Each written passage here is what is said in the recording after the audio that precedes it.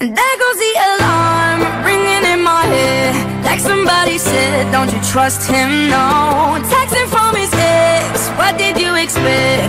Now you're lying here, knowing where he goes. Now he got that itch, yeah. Karma is a bitch, yeah. Same way that they come, that's the way they go.